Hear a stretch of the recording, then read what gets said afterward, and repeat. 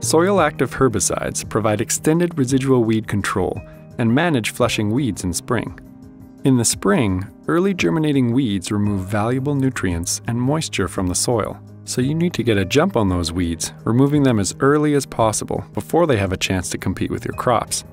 And the best way to do that is with soil active weed control, applied either just before freeze up and fall or soon after spring thaw. Once sprayed, these products sit on top of the soil and move into soil water solution, with moisture from snowmelt when applied post harvest in the fall, or with rainfall when applied in the spring before seeding.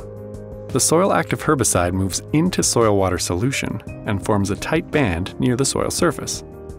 The Valtera and Fierce herbicide particles move around in constant flux between connecting to soil particles and moving in the soil water solution, available for uptake by germinating weeds. These herbicides can remain effective in the soil for up to 8 weeks. As weeds germinate and grow through the soil, they come into contact with the soil water solution and take up the herbicide. Valtera and Fierce help eliminate tough to kill weeds before they have a chance to get established and compete with your crops, and they can manage weed flushes for up to 8 weeks, helping your field stay clean as you get spring seeding done and helping your crops get off to a strong start early in the season without weed competition.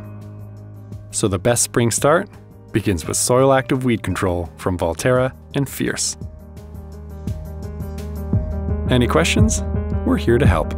Just ask a Nufarmer.